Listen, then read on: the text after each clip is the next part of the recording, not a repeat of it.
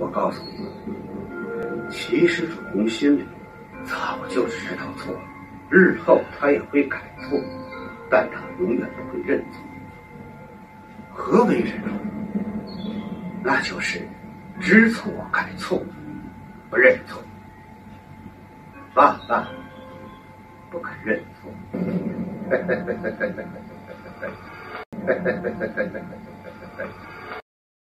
大家好，今天是二零二三年的二月七号，星期二。刚才大家看到的这个小视频呢，应该是中国的一个电视剧，叫《三国》里边的一个片段。这个电视剧呢，它是中国拍的这个新三国啊，不是那个很多人都知道的那个老的《三国演义》的电视剧。这个新三国的电视剧呢，它其实呢一点儿也都不新了，是十三年前在中国墙里边呢播放过的。狗认为呢，这个片段呢它比较有意思，因为他呢是确实点出来了中国这个集权专制社会里边帝王、官员啊、领导们他们自古以来的一个最大的作风，就是他们呢是绝对不会去公开的认错，他们绝对不愿意去公开的承认错误。打死也不会认错。其实呢，不仅是这个帝王和官员们，即便是在现在很多的这个中国的家庭里边，身为父母的有很多人，是不是也都有这个作风？就是他们呢是绝对不会对子女、对自己的孩子去承认他们自己的错误的。所以呢，这个呢也是中国这块土地上它自古以来就存在的一个非常优秀的文化传统。狗哥认为呢。这一点真的是需要很多中国人呢去认真的思考一下啊，去反思一下，为什么对自己的子女、对自己的下属啊、对自己的这个同事公开承认自己的错误会那么的难？从来不愿意承认自己错误的中国人，是不是其实呢也都有这种帝王和专制的思想？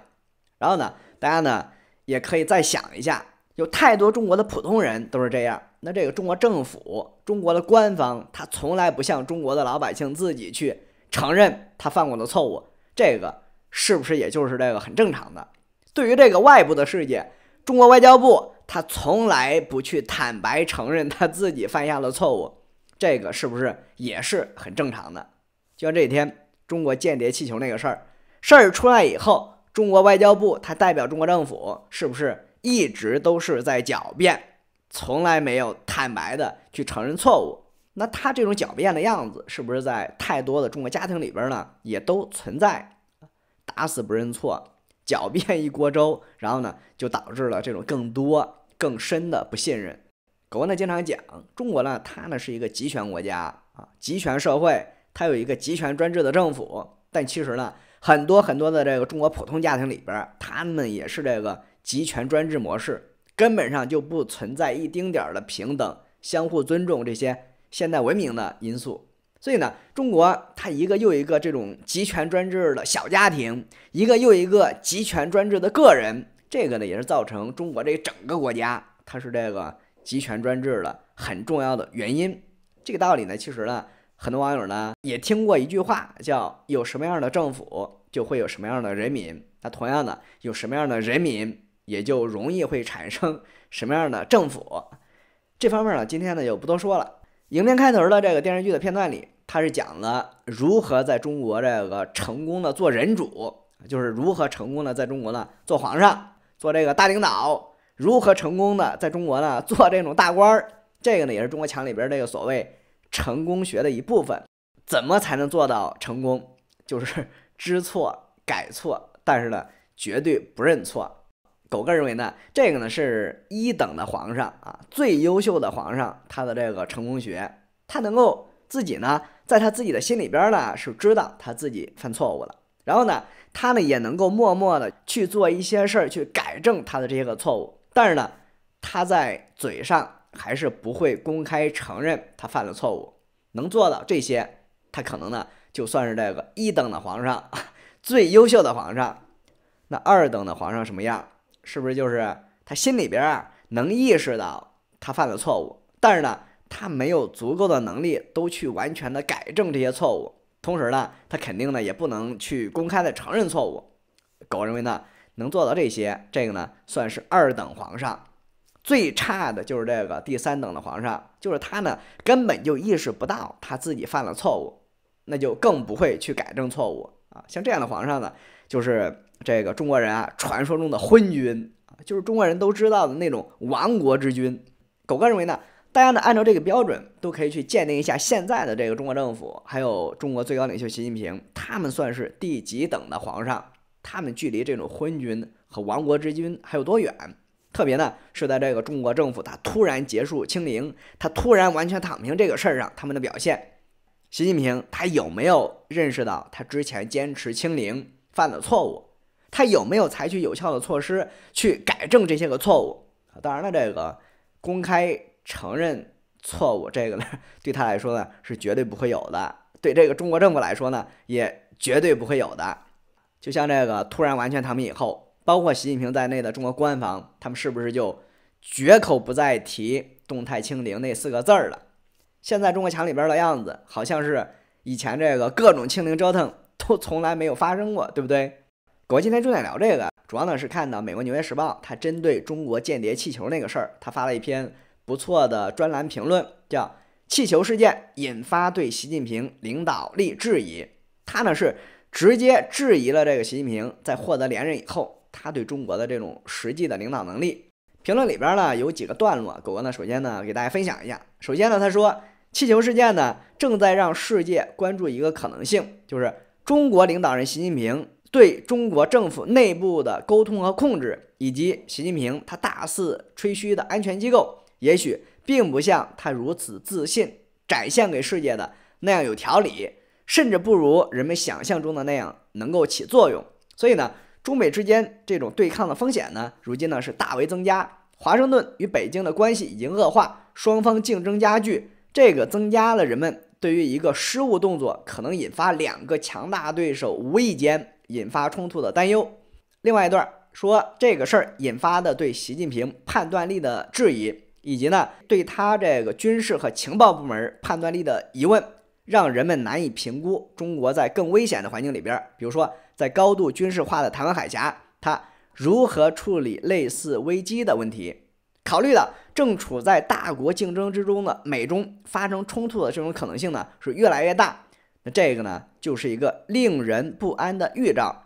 还有一段说，这个中国的飞行器啊，在不恰当的时候飞入美国领空。以及在美国大陆上空被发现的这个重大错误，表明中国军方与政府其他部门之间呢缺乏协调。这个表明防止此类事件发生的这个中国的国家安全协调机制尚未起到应有的作用。评论最后说，这次的气球事件呢是完全强化了中国决策层完全缺乏透明度的问题。这个呢是中国官方这个系统它存在的一个特性。而不是一个偶然的问题，而且呢，这类事件在以后呢还会再次发生。如果事态发展迅速，中国政府就没有灵活的决策机制，他们不能够在进展迅速的危机中呢有效沟通，这对目前与中国处理关系的努力来说，确实是一个坏的兆头。《纽约时报》这个专栏评论，它的主要观点，狗哥呢是认可的。其实呢，间谍气球这个事儿，现在这个大概的情况和问题呢，已经是比较清楚了。啊，当然了，狗哥在这说的主要是这个中国政府他的情况问题，就不详细说这个美国拜登政府了啊。大家现在都知道了这个事儿，它对中美两国关系的直接影响，就是导致这个美国国务卿布林肯宣布推迟对中国他的这个第一次访问。那原本在这个事儿发生之前，中美双方对布林肯的这次访问呢都是非常重视的啊，都是希望布林肯这次对中国的访问能够顺利的进行，特别呢是。中国政府方面，他们是这个非常希望这次访问呢能够顺利的。狗哥呢说一句玩笑话：中国最高领袖习近平，他连这个北京烤鸭都准备好了，都已经烤好要准备招待这个布林肯了。结果呢，被突然出现的间谍气球这个事儿呢就给搅黄了，烤好的鸭子呢也飞了。这个呢就是对间谍气球这个事儿，习近平本人和中国的外交部他们现在会有的这个感受。所以呢，对这个事儿呢，习主席啊，他肯定呢会很愤怒，他肯定呢会在这个中国政府内部呢去问责中国的军方，因为这个气球它只能是属于中国军方的这个间谍气球。但是呢，狗哥呢也必须要说，就这个事儿的出现呢，习近平呢，他其实呢也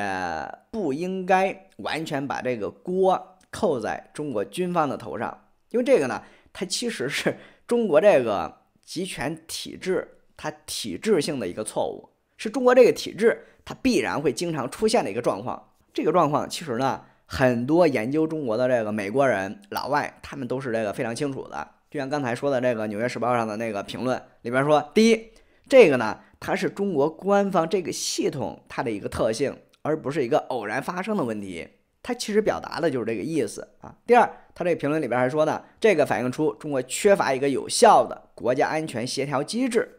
狗在以前聊过，就是习近平在他成功连任以后，他呢是想缓和一下跟美国这些现代文明国家之间的关系，所以呢，习近平他这次呢是很重视布林肯来北京的这次访问。那习近平他在最近在中国高层的内部啊，也包括对这个中国的军方，他肯定是要求过最近呢对美国的这个姿态呢要缓和，不要搞出来什么大事儿，要配合布林肯的这个访问。所以呢，你像这个最近。中国军方他在台湾海峡周边就没有出动太多的战机去进行骚扰，对不对？这个呢，就是中国呢他在做姿态啊，为这个布林肯访问在创造比较缓和的这种氛围。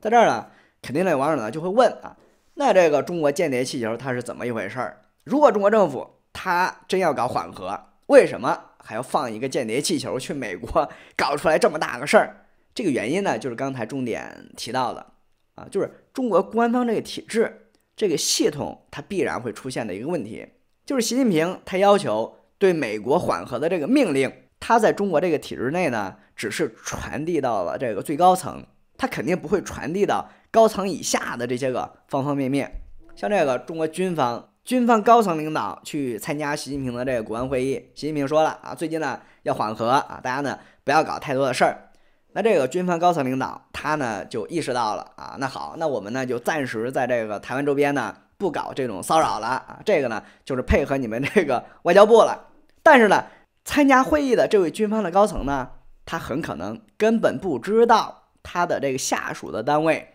有往美国放间谍气球这个事儿，这个操作，或者是呢，中国军方高层他们即便是知道最近有放气球这个操作，但是呢，他们也不认为这个呢是大问题。不认为呢，值得去关注、去停止，因为以前也对美国放过好几次都没有事儿，对不对？狗哥认为呢，最大的可能就是中国军方的高层，他们自己呢也根本不知道他们的下属这一天呢要放气球，同时呢，放气球的这个中国军队下属的基层的单位官员，因为他们是属于基层，他们呢也不知道习近平要求要缓和中美关系的这个指示，所以呢。他们就放了，这个呢反映出来的就是中国体制内存在的一个巨大的问题啊，就是自古以来的这种政令不畅通，在内部极度缺乏配合和协调。很多网友都会听说过一句话，叫“政令不出中南海”，反映出来的就是这个问题。这个呢，就是在现在和将来，美国政府他比较担心的一点，就是最高领袖习近平的指示到底能不能在中国体制内得到这个有效的执行。像这个放气球这个事儿，就非常典型的反映出来。中国这个系统它存在的这个问题，那你比如说，在将来，在台湾海峡同样有可能会出现类似的，但是呢，后果会严重的多的问题。比如说，在将来，习近平他在这个台湾海峡，他摆出来一个要开战的样子，但其实呢，他呢只是在搞恐吓，他呢对军方高层传达的意思呢是只是恐吓一下啊，并不是真开战。但是呢，习近平的这个指示。这个意思，它是不是能够准确传递到共军的每一个作战单位啊？能不能传递到每一架这个战机上的飞行员？能不能传递到每一台的这个导弹车？这些呢，都是存在这个疑问的啊。现在在中国军方高层完全不知道的情况下，军方他下属的单位放了一个气球，就严重干扰了这个中美关系。那在将来，是不是同样有可能中国军方？它最基层的一架战机、一枚导弹之类的，是不是就可能会引发海峡两岸一场真的战争、全面战争？这个是美国政府啊，他比较担心的一点啊，就是中国方面的这些个偶然因素啊，或者说这个误判引发了擦枪走火，然后呢导致真的战争爆发。这个呢也是《纽约时报》这个评论说引发对习近平领导力的质疑，他要表达的这个主要的意思。就是中国官方还有军方这些个体制，因为他们呢是很不透明，同时呢他们又非常的僵化，他们的反应总是这个很慢、很极端，所以呢这个对于中美关系来说呢就是大的问题。说到这儿，狗哥呢是有点同情这个习主席啊，因为这个反映出来的更多是中国这个体制的问题。习主席他即便是再有能力，他如果不去改革这个体制，那这个呢也完全没有用。更何况这个习主席他实际上有的能力，大家呢也肯定都这个心里有数，对不对？这两天呢还有一个据说能反映这个习主席他能力的新闻，就是最近几个月比较火的中国一些地方的这个社区食堂、人民大食堂已经是出现了烂尾的这个消息。这个事儿，我在前的影片里呢也聊过啊，是跟这个中国很多地方又在恢复大搞供销社那个事儿呢在一起聊的。这个呢就是中国这个国家。他在持续开倒车的这个更多的表现还有证据。这两天，即便是这个中国的官媒也报道了，说一些地方的社区食堂呢，已经是办的连这个成本呢都收不回来，所以呢就停业了。那官方办的这种大食堂，他们为什么开不下去？这个道理其实在四十年前的中国呢，已经就有了共识，就是这个共产主义啊，它暂时呢是实现不了的，中国呢必须要走资本主义的路。四十年前已经有共识的东西，这两年呢，中国政府呢又要去推翻，要重新走以前的这种邪路、老路啊、死路，那这个呢，肯定呢就是要失败的，对不对？这方面还有一个最新的事儿，大家来看，中国头号的官媒和党媒《人民报》在昨天这个报道，中国国务院、国资委等十三个部门联合发文，要支持国企办医疗机构高质量发展。它这儿这个最关键词就是支持。国有企业办医疗机构，而且呢，这个呢也是在深入贯彻习近平总书记的这个重要指示精神。也就是说呢，支持这个中国的国有企业办医疗机构，这个呢是最高领袖习近平他的亲自指示。国有企业大办医疗机构，这个是不是也是标准的这个大开倒车的行为？是不是也是标准的这个国进民退？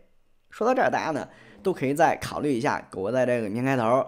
提出来的这个判断，皇上三个等级的标准，最差的皇上呢，就是根本就意识不到自己所犯的错误。所以呢，中国这个最高领袖习近平，他到底对于这个中华人民共和国前三十年里犯的那些个重大错误，他到底有没有清醒的认识？他到底有多少认识？习近平他到底算是第几等的皇上？对这个呢，大家呢都可以留言说一下啊。好了，今天呢就聊这么多啊，非常感谢大家的观看，咱们下期再见啊，拜拜。